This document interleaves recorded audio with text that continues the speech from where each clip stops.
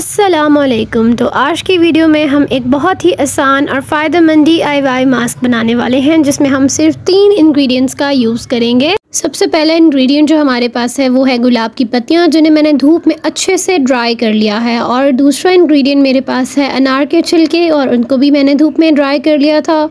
और थर्ड और main ingredient जो है हमारे पास, वो है राइस राइस को मैंने अच्छे से वॉश कर लिया था, ताकि इसकी सारी डस्ट निकल आए। और अब मैंने राइस को एक ग्राइंडर जार में ऐड कर लिया है। गुलाब की पत्तियाँ आपके जिल पर मौजूद दाग धब्बे और निशानात को कम करने में मदद करती है। गुलाब की पत्तियों का पाउडर आपकी स्किन को एक्सफोलिएट करता है और आपके डेड स्किन सेल्स को हटाकर आपकी स्किन को नीट क्लीन और शाइनी बनाता है। और दूसरा इंग्रेडिएंट जो मैंने इसमें ऐड किया है, वो है राइस ये आपकी स्किन को ब्राइटन करेगा रिंकल्स को दूर करेगा और आपकी स्किन को टाइटन करता है। जो मैं इसमें अनार के छिलके ऐड किए वो मैंने ऑलरेडी धूप में ड्राई कर लिए थे।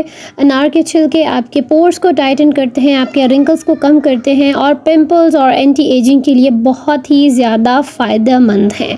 अब मैंने इन तीनों इंग्रेडिएंट्स को ऐड करके जार में थोड़ा सा पानी ऐड करूँगी ताकि ये अच्छे से ग्राइंड हो जाए और इसका एक स्मूथ सा पेस्ट बनकर मेरे पास बनकर रेडी हो जाए। मैंने इसको एक से दो मिनट के लिए ग्राइंडर जार में ग्राइंड किया है। अब जब ये सब चीज़ें अच्छे तरीके से ग्राइंड हो जाएँगी तो ये मैंने यहाँ पे इसमें थोड़ा सा पानी ऐड किया है और ताकि ये मज़ीद अच्छे से ग्राइंड हो जाए मेरे पास। अब ये सब चीज़ें जब अच्छे से ग्राइंड हो जाएँगी तो मैं इस पेस्ट को एक प्लेट में निकाल के इसको मैं धूप में रख दूँगी ड्राई करने के लिए। जब ये पूरी तरह ड्राई हो जाएगा तो इसको मैं एक दफ़ा फिर से ग्राइंडर में डाल के एक फ़ाइन पाउडर बनाऊँगी। तो ये इसको मैंने सिर्फ़ एक दिन के लिए धूप में रखा है और ये अच्छे तरीके से मेरे पास ड्राई हो चुका है। अब इस ड्राई किए हुए मिक्सचर को मैंने दोबारा से ग्राइंडर जार में ऐड करना है और इसको मैंने एक से दो मिनट के लिए मज़ीद ग्राइंड करना है ताकि आपके पास एक फ़ाइन पाउडर आ जाए। अब आप इस पाउडर को स्टोर कर सकते हैं और जब भी आपको ज़रूरत हो यूज़ कर सकते हैं। इस डी आई वाई मास्क के इतने फ़ायदे हैं कि ये आपकी स्किन को ग्लो करता है सॉफ्ट और यूथफुल बनाएगा। राइस स्किन को ब्राइटन करेंगे रोज़ पेटल्स स्किन को काम और मॉइस्चराइज करते हैं और अनार के छिलके एंटी एजिंग के लिए बेस्ट हैं। ये मास्क रिंकल्स पिंपल्स और पोर्स के लिए बहुत ही ज़्यादा फ़ायदेमंद है।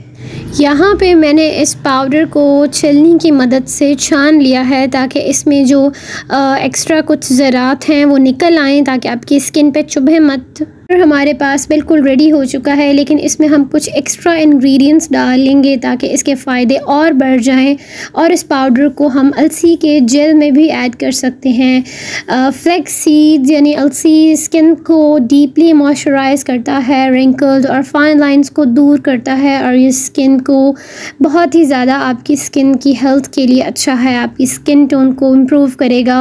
इस पाउडर को फ्लैक्स सीड्स के साथ भी यूज़ कर सकते हैं। फ्लैक्स सीड इसमें में ऐड करके आप अपनी फेस पे अप्लाई कर सकते हैं और आप इस पाउडर में हनी ऐड करके भी अपने फेस पे अप्लाई कर सकते हैं। जो शहद है, एक नेचुरल मॉइस्चराइज़र है जो आपकी स्किन को सॉफ्ट बनाता है और एक्नी और पिंपल्स को दूर करता है।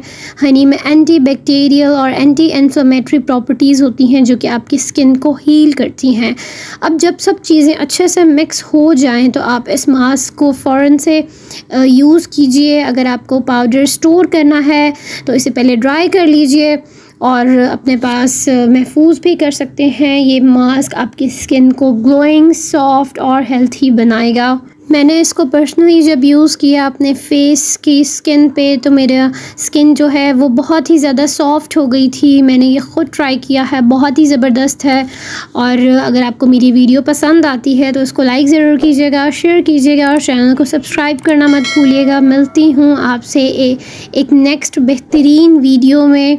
तो तब तक के लिए मुझे इजाज़त दीजिए। अल्लाह हाफ़िज़।